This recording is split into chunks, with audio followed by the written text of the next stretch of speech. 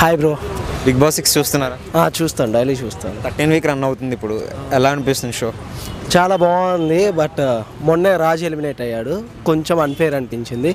But ఏ సీజన్లో ఇలా అవ్వలేదు. ప్రతిసారి ఎవరైనా ఆ పాస్ని యూస్ చేసుకొని వాళ్ళు సేవ్ అవడానికి వేరే వాళ్ళని సేవ్ చేయడానికి ఉంది. ఫైమా ఆల్రెడీ లీస్ట్లో ఉంది కదా.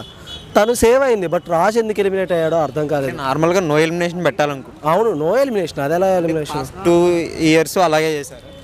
లేదు లేదు. అంత past two years no elimination పెట్టారు ఇయర్ పెట్టలేదు అవును అవును. ముక్కు అవినాష్ లేకపోతే ఎప్పుడో వెళ్ళిపోయేవాడు కదా.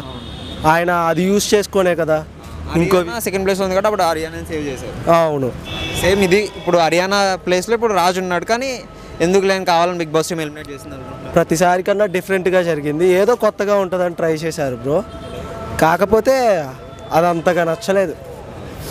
ప్రతి సీజన్ కన్నా అసలుకే ఈసారి ఈ సీజన్ మీద కొంతమంది సరిగా లేదు బాగాలేదు ఈ సీజన్ అంటున్నారు. నాకు అలానే అనిపించింది కన్ఫామ్గా అంత యాక్టివ్ మంచి మంచి ప్లేయర్స్ శ్రీహాన్ కానీ రేవంత్ కానీ ఇనయ కానీ ఇంతమంది ఆటగాళ్ళు ఉన్నప్పుడు వాళ్ళు చాలా కోరుకుంటారు. ఈసారి అసలుకి ప్రతిసారి వైల్డ్ కార్డ్ ఎంట్రీ ఉంటుంది. ఈసారి వైల్డ్ కార్డ్ ఎంట్రీ కూడా లేదు. సీజన్ ఫ్లాప్ అనిపించింది. కన్ఫామ్గా ఫ్లాప్ ఎవరు ఉన్న వాళ్ళలో మీ ఫేవరెట్ ఎవరు? నా ఫేవరెట్ అయితే శ్రీహాను. ప్రజెంట్ అందరికీ తెలిసిపోయింది. దాదాపుగా అందరికీ తెలుసు బాగా ఆడుతుంది రేవంత్ అని. రేవంత్ టాప్ విన్నర్ అవుతాడు. టాప్ టూ పొజిషన్లో ప్రజెంట్ స్కోర్ని పట్టుకొని ఓటింగ్స్ని పట్టుకొని చూస్తే ఇనయ ఉన్నారు. కానీ మారిపోవాల మారిపోతుంది. శ్రీహాన్ టాప్ టూకి వస్తాడు. ఫ్రెండ్స్ ఎందుకు టాప్ టూ ఉండకూడదు అసలుకి తను ఆడుతున్నారు ఆడట్లేదు అనట్లేదు. లేడీస్లో ఉన్న వాళ్ళల్లో వన్ ఆఫ్ ద బెస్ట్ తనే. కానీ తను మాట్లాడే నామినేషన్ పాయింట్స్ ఎక్కడ ఆగుతున్నాయి ఎక్కడ బ్రేక్ చేయాలి ఎలా మాట్లాడాలి అని పిచ్చి పట్టినట్టు ఓ పిచ్చి దానిలా మాట్లాడితే ఎవరికి అర్థం కాదు. ఆమెకేనో అర్థం? న్యూన్గా అనిపిస్తుంది అన్నయ్య? నాకైతే మొత్తం ఫేకే ఫస్ట్ ఫస్ట్ డే వన్ నుంచి ఫస్ట్ నామినేషన్స్ కాడి నుంచి శ్రీహాని టార్గెట్ కాసేపు శ్రీహాన్ వద్దంటది కాసేపు శ్రీహాన్ కావాలంటది మధ్యలో లవ్ అఫైర్ అంటది. మళ్ళీ రీసెంట్గా సోహెల్ బ్రో సోహెల్ బ్రో గురించి ఆ లవ్ ట్రాక్ ఏదో హైలైట్ చేస్తున్నారు కానీ అంత అనిపించట్లేదు నాకే. కావాలని నేను ఇలా ఉంటే నాకు ఓట్స్ పడతాయి జనాల్లో సింపతి క్రియేట్ అవుతుంది. ఆ టైప్లో ఉందండి. కన్ కన్ఫామ్గా అలానే చేస్తున్నారు. సపోర్ట్ ఇస్తున్నారు తనకి.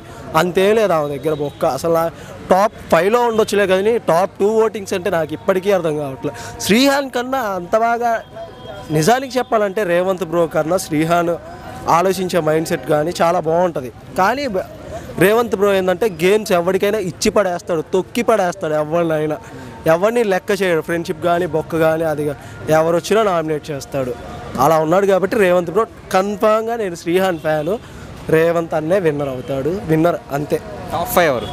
టాప్ ఫైవ్ నాకు వచ్చేసి top one Revanth bro top two వచ్చేసి Srihan bro top three Inaya top four వచ్చేతలకి Adireddy గారు ఉంటారు.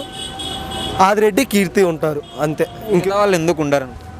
కీర్తికి నెగిటివిటీ వచ్చేసింది. ఎందుకంటే తను మొన్నటి వరకు వేరే వాళ్ళతో ఉంది. అర్జున్ కళ్యాణ్ వెళ్ళిపోయాడు. ఇప్పుడు అర్జున్ కళ్యాణ్ లేడు. ఇప్పుడు శ్రీహాన్. మేబీ శ్రీహాన్ కూడా అందుకే ఫ్లాప్ అయ్యాడు. టాప్ వన్కి పోవాల్సిన ఆయన టాప్ టూలో ఉన్నాడంటే నాకు అదే నచ్చలేదు. సింగిల్గా ఇండివిజువల్గా ఆడితే చాలా బాగుంటుంది. ఉండడు? కీర్తిని దాదాపుగా ఆదిరెడ్డి కానీ కీర్తి కానీ వెళ్ళిపోతాడు. సారీ నేను మర్చిపోయాను. కన్ఫామ్గా నా దృష్టిలో టాప్ త్రీ అయితే అతను చాలా బాగా ఆడుతున్నాడు. అదే చెప్పాను కదా సార్ పేరు? రోహిత్ రోహిత్ అన్న. మెరీనా గారు వెళ్ళిపోయారు. మెరీనా గారి గేమ్ వేరు. రోహిత్ అన్న సైలెంట్గా ఎక్కడ ఎంత మాట్లాడాలి ఎవరితో ఎలా ఉండాలి చాలా పర్ఫెక్ట్గా ఉంటాడు. టాప్ వన్ త్రీ వీళ్ళు ముగ్గురు ఉంటారు. టాప్ త్రీ ఇనయ్య గారు టాప్ ఫోర్ రోహిత్ బ్రో ఉంటాడు.